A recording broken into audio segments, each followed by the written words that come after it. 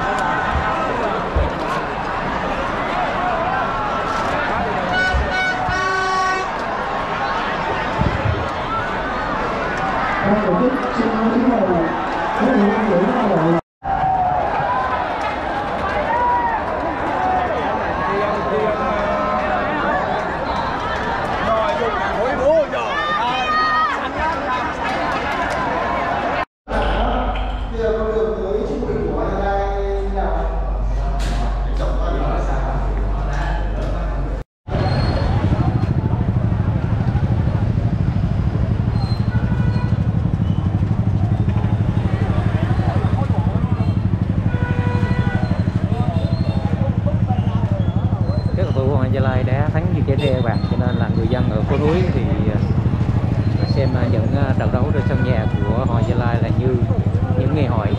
Họ ra về rất là vui vẻ rất rất phấn khích. Đấy rất là vui. Rồi câu lạc bộ Hoàng Gia Lai sẽ còn hot rất nhiều trong thời gian tới. Rồi bye bye các bạn à, à, chương trình ngồi lê của trận đấu Hoàng Gia Lai và Hà Nội đến đây kết thúc. Hẹn gặp lại các bạn vào những cái video tiếp theo.